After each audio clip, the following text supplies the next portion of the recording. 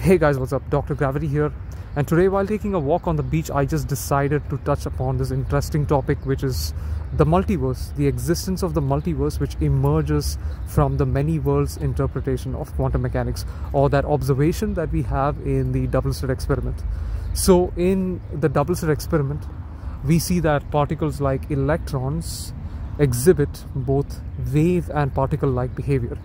And you can call that the wave particle duality. When unobserved, these particles exhibit or create an interference pattern like waves. And when observed, they behave like particles and form distinct patterns. So, how do we go from the fundamental probabilistic quantum haze to the single definite reality that we all get to experience, like the solidified experience? Fundamentally, when you look at the universe, things are inherently probabilistic quantum mechanics is both probabilistic and non-deterministic.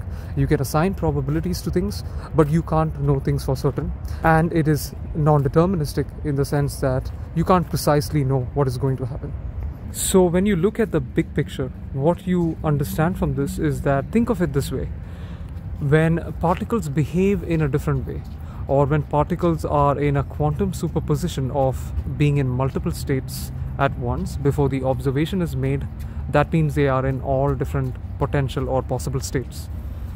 And you can consider this to be alternate timelines in which the quantum superposition of a particle or a collection of particles represent the sequence of events that would happen in a different timeline or maybe the state of an electron that would be the case in one particular timeline so if you think about yourself if i'm sitting here as a classical object right? This is what we see in the classical macroscopic world, in which through quantum decoherence, the fundamental probabilities of the quantum particles average out in the classical world, and then we have a deterministic world that you and I get to experience. If I am sitting here as a classical object, neither you nor I can see my potential quantum states. We just see me sitting here, right? If you ask the question of what a human being might be fundamentally made up of, you are nothing more than a collection of particles, which means ultimately there are electrons that make you up. So if you were to take an individual electron that is part of an ingredient that makes you up, that electron is also in a quantum superposition of multiple states at once or all possible states at once until the observer makes the observation or until the measurement is made or until there is an interaction.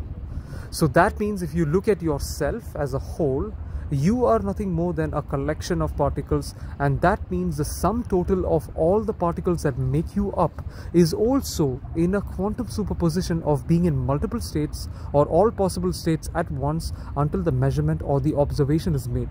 So that means you may not see it in this classical world unless you have the right device or the measuring tool or perform the right experiment to see the quantum superposition. So if you can be in a quantum superposition of multiple states at once, that means I am not just sitting in this position.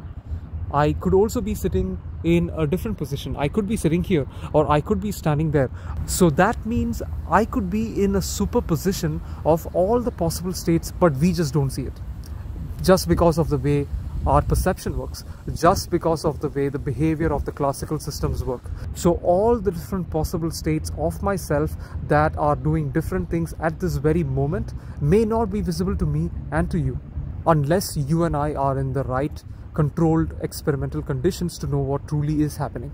So what that actually means as a conclusion is that all the possible states of my existence is already existing simultaneously right now at this very moment. But we just don't see it. So that means all the different versions of myself the one that maybe is clean shaved the one that has a green beard or the one that is sitting here or the one that's sitting there is existing simultaneously right now in different parallel realities or timelines. They all exist right now. We just don't see them. That is what the double slit experiment shows us and that is what the many worlds interpretation of quantum mechanics explains to us. And you know i just thought of touching upon this topic to make it easy for you guys to understand. So i try to compress this very complex topic into something much easier which uh, you know would be understandable in layman's terms so I hope you guys enjoyed this video and subscribe to my channel for more interesting videos like such and I would do more interesting future explainers.